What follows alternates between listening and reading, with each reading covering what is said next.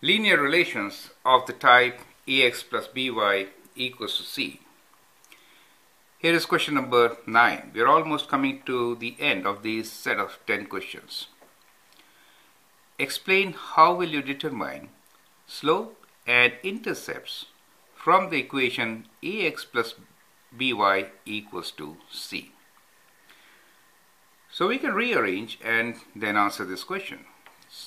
So let's start with rearranging this equation to find slope. So first we will consider slope. So for slope we can write the equation as ax plus by equals to c. We'll isolate y. So we can take away ax from both the sides and then we get by equals to minus ax plus c and dividing by b we get y equals to minus a over b x plus c over b, right? So if you compare this equation with slope-intercept form equation, which is y equals to mx plus b, what do you find? So you conclude that slope m. So we conclude that slope m is equals to minus a over b, right? And what else? You also find that b is c over b. That is y-intercept.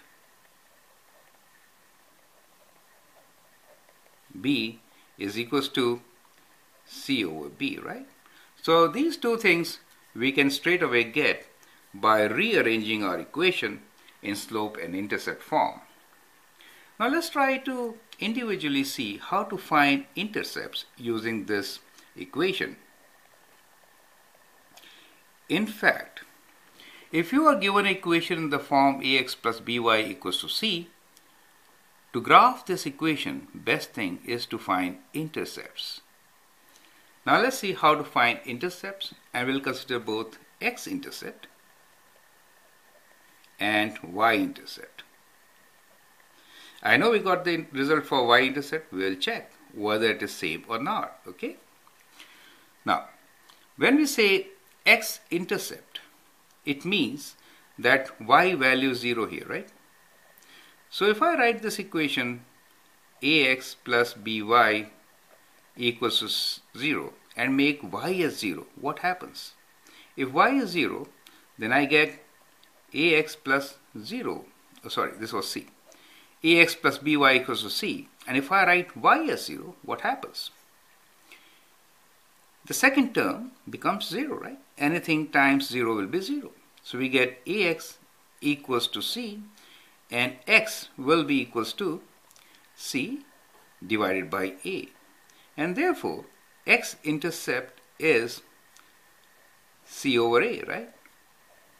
So that is the coordinate for x-intercept.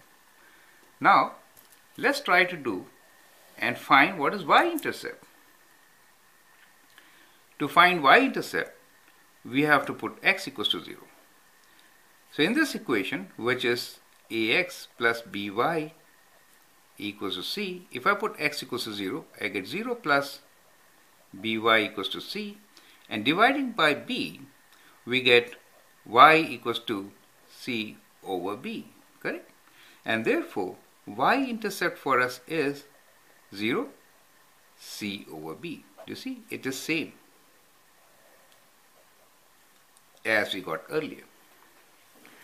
So this method which I have shown you here is the method to find intercepts. And once you get intercepts, you can plot these two points and join them with a straight line, which will represent your equation of the line, correct?